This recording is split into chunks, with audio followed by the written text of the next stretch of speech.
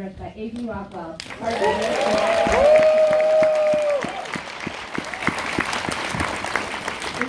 festival in 2019 with her beautiful short film Feathers, and we're so thrilled she's returned with her amazing feature debut. Um, 1001 is also an alum of the film, feature film program Screenwriters and Directors Lab. So it's a project that is very dear to our hearts, but we are still astonished with the final result. It's a film that we found profoundly emotional, a film that made us contemplate the meaning of family. We absolutely fell in love with its audacious, free-spirited protagonist. It's just a story we're so excited to share at Sundance. Please join me in welcoming to the stage the writer and director of 1001, A.V. Rockwell.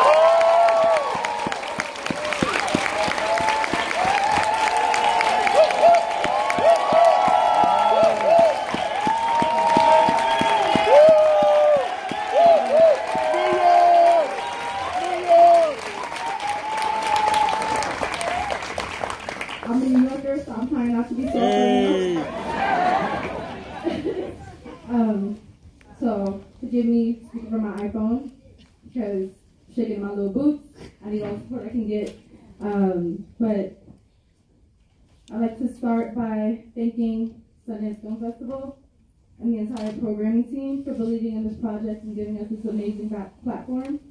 Uh, Sundance Feature Film Labs for their, their incredible support, very critical support during the development of this film, of this film and the many chapters that came after my producers, Sight Unseen, Hillman Grad, and Make Ready, as well as my distributor, Focus Features, for being such incredible partners. My phenomenal cast and crew for their tremendous work and commitment to this project. So proud of what we've accomplished here. Um, if everybody could stand up that was a part of this, I just because I don't know who's here from our cast and crew, just stand up, wave, do something.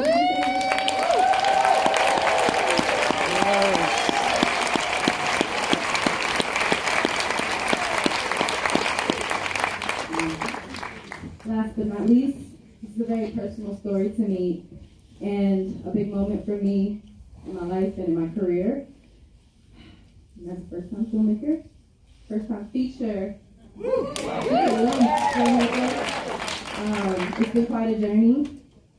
So I just thank you all so much for being here. Enjoy the film.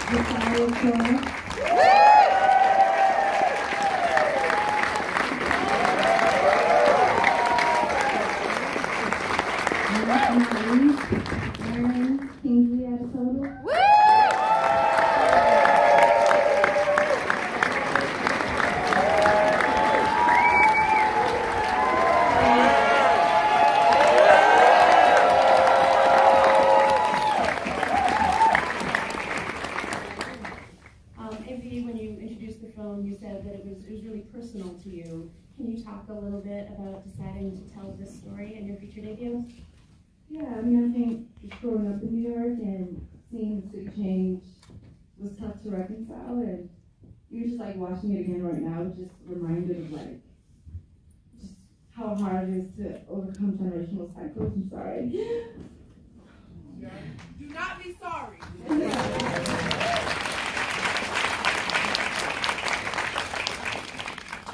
so families like you know, men and very luckies that have to fight so hard to overcome, you know, what the generation before them had to go through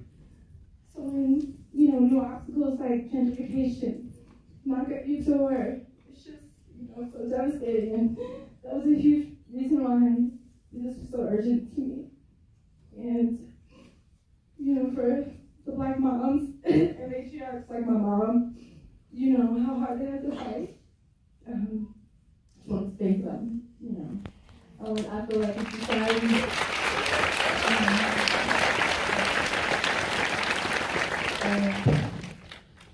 society, in society and even within our own community, especially like inner city black women are just so invisible and misunderstood. And it was just so important for me that, you know, I tell their story as best as I could and, you know, just kind of try to be a voice for them and hopefully let people into their lives a little bit and hopefully understand them a lot better and, and celebrate them.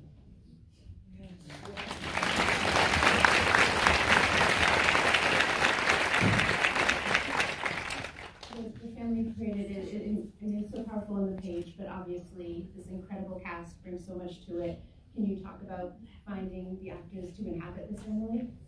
Yeah, it's interesting because I think as I wrote the story, I, I really wanted something that was going to be truthful to, you know, the uh, the city and the, the experience of the people as, as I knew them, and so I probably would originally wanted to like street cast those things I could, but you know, I think uh, COVID made that complicated. And honestly, I think the movie benefited from taking a little bit of everything, you know, just people that have done this and are super seasoned and then people who were, you know, jumping into this process for the first time.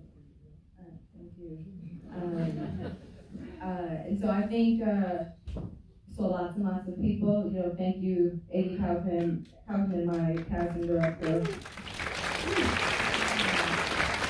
And I think just to cast Inez alone, we saw hundreds and hundreds of women before we got, you know, Teyana Taylor, who was kind of in my face the whole time, you know. But um, but I think I just needed to go through that process to really make sure that I was finding the right people that would make me feel like, okay, I see. I see my life experiences and, and the experiences of my peers, and I feel like none of it is performative. You know, that everything is honest um, and truthful. And honestly, they're just all excellent. Everybody in the cast, you know, I'm just so proud of all of them, and I'm so grateful to all of them. Teyana, do you want to start? Sure. Hey y'all, what's going on? It's a lot of crying. Let me hear some noise. Pick it up, pick it up Um, no, but this was such a special project to me. How passionate she was, how beautifully the script was written, on top of the fact that Inez was from Harlem, and I just felt like, you know, Harlem, Harlem, you feel me? you know, and, and you know, just reading it, I, I knew that I wanted to be a part of it. I read it in less than an hour. I got on that, my self-tape, and I took my weave out, and I took my makeup off, and I just was, I said, oh, this is my Mo'Nique moment. This is my precious moment. and I, you know, I went in and I was ready. I was ready. I was ready to, to fight for it. I was ready to do whatever it took to be a part of it, you know, and I'm so grateful for Avy. Uh, I haven't felt protected a lot in a lot of things that I've done, but she made me feel absolutely protected, uh, mentally, emotionally, spiritually. You know, I was uh, six months postpartum uh, during during this project, and just dealing with life. You know, dealing with a lot, and uh, she inspired me to put all of the things, just life, and, and put it into Inez, and I'm just so grateful.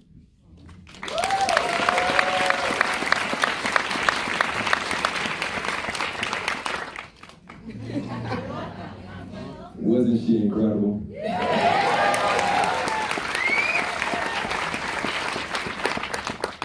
Things come to you and it's just a dream to do. And once I read Lucky, AV put the spirit of Lucky on the page and I just had to connect to that. And I'm so grateful. And the cast is wonderful. Those who are sitting down as a part of the cast. Uh, what an amazing cast to be a part of. I'm excited to see the and I'm gonna pass this mic to this incredible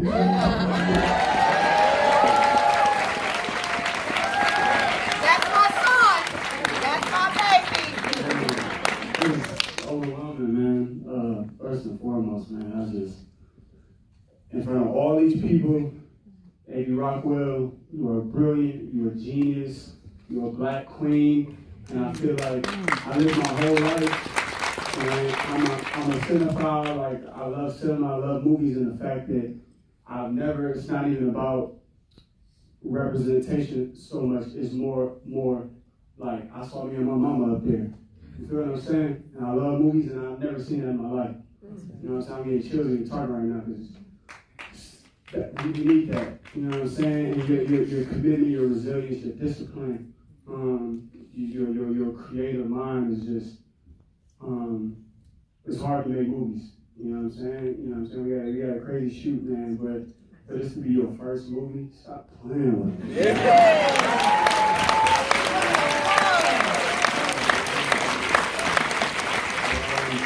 And I feel like I feel like you know in 2023, like you know what I'm saying, for you to be a part of you know making the palette wider for audiences, making them be able to like digest something that's different, that's fresh, that's new, um, and specifically that's us.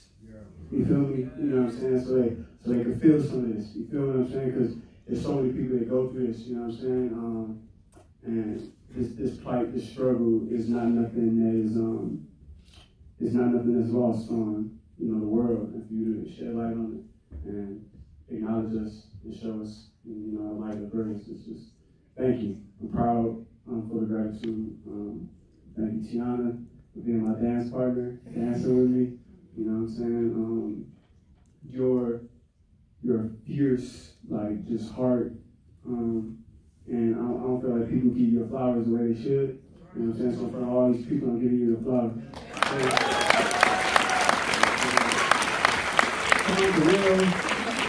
Come on to Will. You know what I'm saying? Being the light in the dark. Um, I know I'm talking about a long time. I'm, I'm, I'm, you know what I'm saying? But um, just, just be, you being my dance partner too. It's like, you know, being raised without a father is so important that, you know, the community, it takes a village to raise a child, and you embody the brilliance of what it looked like when the community step in, when the OG step in, when Unc step in, you know what I'm saying? Somebody that's not even your father taking that role, um, especially for black boys growing up in America, I feel like um, it's beyond important. Um, and just the prose, the narrative prose that AV brilliantly, you know, wrote, it's like, yeah, he's not my father, but, you know, he put it on his back. You know what I'm saying? And you embody that, you know, with brilliance. You know what I'm saying? So, thank you.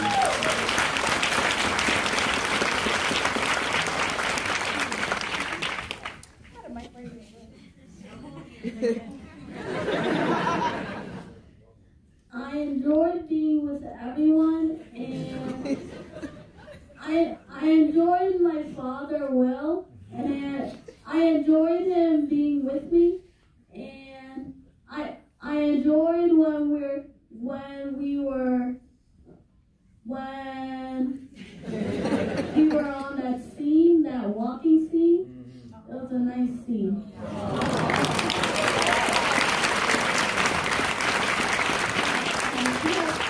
Just a couple audience questions. What is the meaning of the title, A Thousand and One?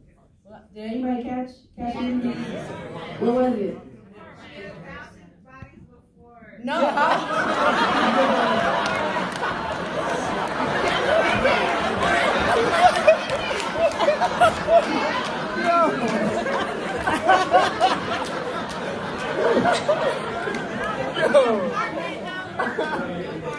It was, it was the apartment number. Um, I mean, there is a, a, a level of symbolism to it because, you know, I think that we see New York kind of lose its way a little bit um, over the course of the movie and, and lose its sense of identity. And so I think as New York kind of goes through its own like evolution, you see that impacted, you know, you see how that, that transition impacted this one family and this one household. So, yeah, just a little bit of those two things. I'm, I'm so sorry, that's all the time we have. Thank you, AV and the team for being here. Hey, this is Eric from IONCINEMA.com. If you want to support us, subscribe below. For more reviews, interviews, film festival coverage from Sundance, Cannes, Toronto, you want to check out these guys on this side.